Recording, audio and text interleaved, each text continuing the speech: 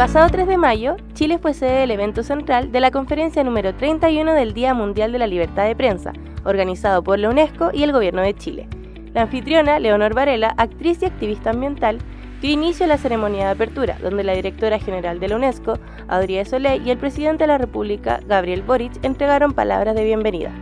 A su vez, Gael García Bernal, actor, productor y activista ambiental, en conjunto con la expresidenta de Chile, Michelle Bachelet, realizaron un discurso de apertura para todos los asistentes.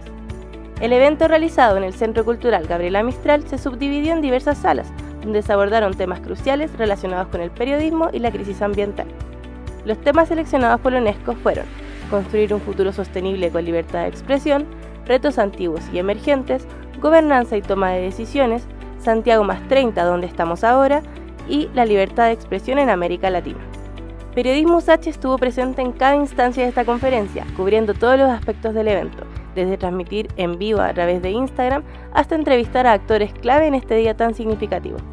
Un día lleno de reflexión, intercambio de ideas y compromiso con la libertad de prensa. Eh, debo reconocer que verlos verlas, digamos, a, yendo de manera rápida, tratando de, estar atentos a lo que está pasando, que ustedes puedan participar, digamos, eh, conocer cuáles son los principales eh, hitos, digamos, que están marcando este encuentro.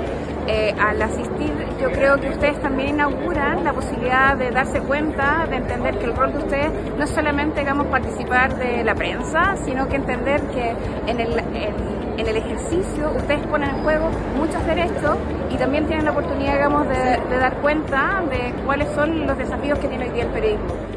Esta fue la cobertura especial de Periodismo USACH para la conferencia número 31 del Día Mundial de la Libertad de Prensa. Felicitaciones a todas y todos quienes participaron.